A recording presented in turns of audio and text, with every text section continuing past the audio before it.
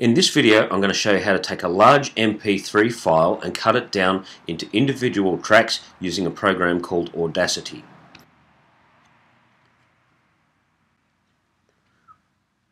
I recently digitized an audio cassette that I've had for many years and uh, it has four songs in it. Now that I've digitized it I would like to cut the digital recording up into individual tracks uh, so that I can play them on my MP3 player. So here you can see I'm in Audacity. So I'm going to open the file, untitled recording. Okay, and you can see here if you look at the gaps in the middle there, that's the gaps between the songs.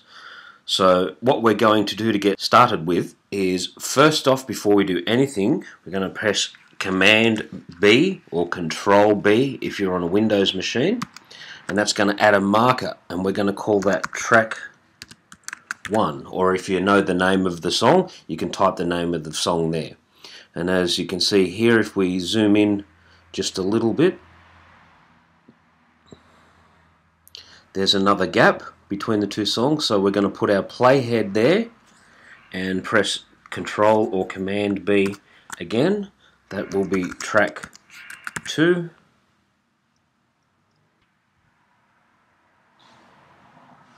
command B again.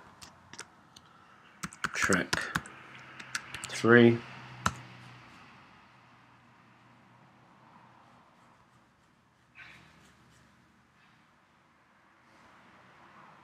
and just zoom in a bit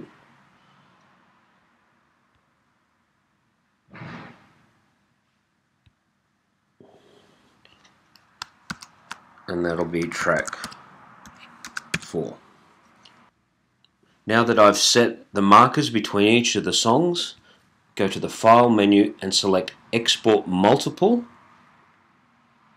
I'm going to export them as MP3 files because that's what I've that's what my source is and I'm going to set it to the same options. So my source was 128 kilobytes per second. Okay and labels here. I want it to split the files and retain the labels. Um, so if you named your specific files with the track names it will retain that information or you can set it up to do it automatically but I prefer to name my own tracks. So now that that's all selected I click export and I can tag add the metadata the ID3 tags if I wanted for each one. At this stage I'm not going to do that do that for each of the individual files. Okay, now it's exporting.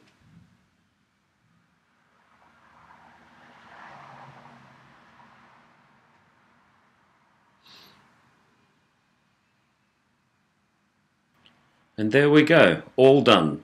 Four individual tracks from the one large MP3 file. And we go back to the desktop there, you can see there are the individual tracks.